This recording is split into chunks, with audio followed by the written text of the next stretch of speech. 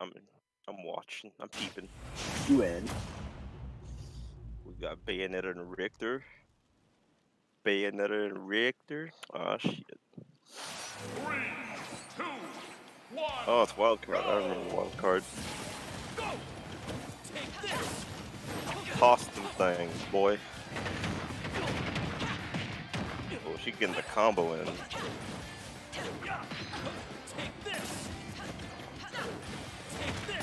can barely make out the Bayonetta's name. I think this is Comatose. It's actually Insomniac. He's in New York. Okay, New York. Okay, cool, cool.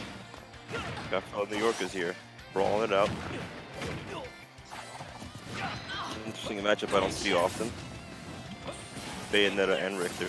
Usually this means like uh, you got a zoner and a sort of sort of semi-rushdown type character. Heel slides her way in most of the time. Ooh, nice use of the witch time there, but no punish.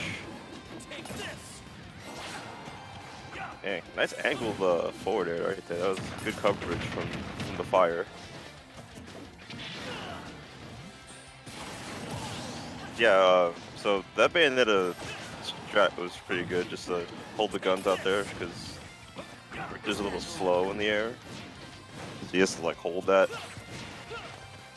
If he gets tossed in that situation, he's probably gonna air dodge immediately to get out. Ooh, combo setup. Here we go. Good read on that uh, landing. The Bayonetta is also opting to use Witch Time for for all the item tosses, so good. It's a good way to avoid all of uh, Richter's uh, setups right now, because the setups usually start from the flame. Oh, missed the grab there. A little far. Yeah, using that witch time is pretty helpful in this matchup right here. Doesn't matter if you get the counter, just as long as you avoid the item, which is the bad part of getting hit by that. Uh, also using the guns to zone out a bit too, because they go a little further, like, like almost mid-range-ish. Ooh, take him to the sky. Some good damage right there. I like that. Ooh, no death because that wasn't tip.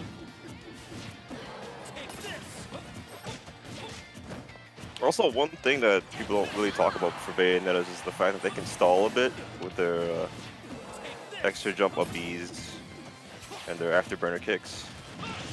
Takes a while for it to come back. Ooh, nice up B. That's a killer option right there. Ooh, the pressure on that platform was intense right there. It's like, there's nowhere you can go.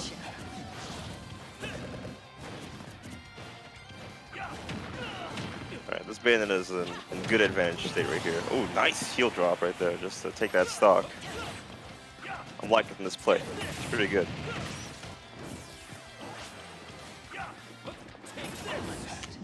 Small, decent punish from the Richter right there off that platform. Ooh, using the turnaround uh, boomerang toss thing. Whenever a character has a boomerang, I always see them do that just for a setup. But that gets punished. Ooh. Oh no! Slightly misses the ledge and dies. That sucks. I hate to see it. Dreadful. Dreadful even. Game one going to the Bayonetta. Somniac, pretty good.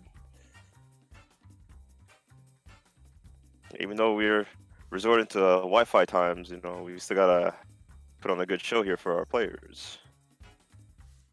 That was a good match. It was a good game one right there.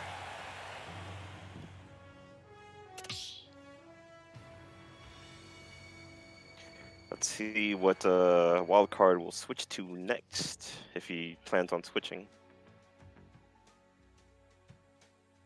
Oh, what's good, Daramgar? Excuse me. Alright, I'm good. Okay, so Um, hey guys, I was wondering if I could jump in um, because I noticed a little somebody somebody playing, and I thought I you know I want to commentate the rest of the set. Alright. Dope. Was it the Richter or was it the Bayonetta? I saw Insomniac playing, and I'm like, whew, I'm Ah. gonna Gonna watch this a little bit. Nice. Anyways, Always support the homies. All right, so game all two. I saw was the end of game one, right? And I saw that Mhm. Insomniac won for, with like a two stock lead. Yes, yes. Insomniac applied a really good pressure there. And unfortunately, Wildcard missed the ledge in that last stock, but hopefully he can reach his hands out there just to be able to grab it. You know, use that forward air, that tether. Just to try to grab it this time. Right now, it seems like Wildcard is fishing a little bit through these holy, uh, through these holy water setups, and Insomniac is doing a really good job of just like spacing himself like above uh, Wildcard's like sort of range of threat. Yeah. Uh, Insomniac's doing a good job of keeping uh, themselves uh, in there. They would uh, use the afterburner kick just to be right under Richter, just to just to put that put the pressure on that character. Be like, all right, I'm under you. Insomniac had a really good read there. He was going to go for the holy water um, at that distance, uh, but was unable to actually connect the side B. yeah, right there. That's not going to be it quite yet. Yeah, Belmont's relatively heavy, and you know that move str- struggles to kill, but actually unable to make it back onto stage. Yeah, right there. Prime example of uh, they ended up putting the pressure on the character, just being right under Richter. Like Richter probably has like no choice but to use the dive kick there if he sees Mhm. Bayonetta under him, but it's a little slow. So and whiffing it, it got him in a bad spot right there. Yep. So look If he again, I like. Sorry. Uh, oh, I'm sorry. I'm sorry. No, no, I'm sorry. I cut you off. No, go go ahead. little thing. Uh, I just like wanted to like quickly point out that Insomniac he jumped in. He knew that uh, Wildcard was going to overcommit to another projectile at mid range, um, and he was like perfectly in range to get hit with a side B. Wildcard Yeah. just needs to maybe like slow this down and try to uh, anti-air uh, Insomniac a little bit, or just try to just maybe react and see uh, without pressing a button preemptively. Ooh, that was nice. That was sick. I like that combo right there. That little up tilt to up smash from the witch time. Don't see that like too often. But yeah, uh, Wildcard has to keep uh, his space against the Bayonetta in this matchup, but Bayonetta's doing a really good job of keeping like the right positioning for for her combo game and uh, with punishing. Trying to connect from the side, but not able to find it. That's going to be the drag down here. Into up B, not going to kill quite yet. You have to be a little bit closer. That move has like a lot, like it definitely has like a lot of like uh, base knockback. Um, so if like uh, up B, uh, Belmont's up B. So yeah. Insomniac was like a little bit closer to the blast zone, um, it could kill like as early as like 40. Yeah, using it as a reversal option. I remember in game one, that's how he took his uh, stock. Ooh, nice forward, forward tilt right there. Tipper forward tilt right there. Yeah, catching Insomniac's neutral air dodge, drifting out. Oh, he tried Ooh, to uh, go for witch time.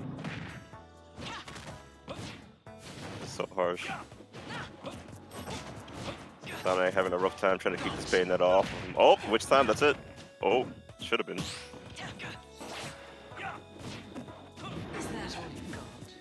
Yeah, this is a really good tool to stop whatever setup Wildcard has to approach you know, for sure. Even like whether or not you get time or you just get like the bats, um, it'll just immediately sort of stop any sort of uh, ledge trapping from Wildcard. So he has to maybe try to bait that out and try to get a bigger punish off on the uh, off on the lag there. Yeah. Forward air combo. Wildcard is struggling to land, but Insomniac's actually going to retreat a little bit. I don't think he intended uh, for his neutral B to be reversed like that. Yeah, witch time still the godsend for this character. Oh, dead. Yeah, yeah, that's all he had to do. Good stuff to Insomniac right there, taking both games. Yeah, know, very, very clean, confident 2-0.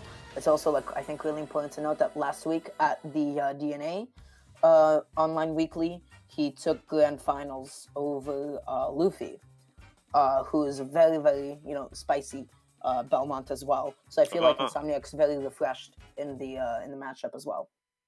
No, good on them, good on them. Good stuff. Very Yeah. knowledgeable of that matchup right there. Yeah, that's it. I just wanted to comment this one set. Um, I'll be back. I'll be back a little bit later tonight to do a little bit of top eight, um, and whatnot. But uh, I'll see you guys in a bit. So sorry that I, I'm jumping in and I'm leaving already, but I'll, No, I'll see you guys alright. soon. I promise. We'll hold it down. All right, that was a nice game.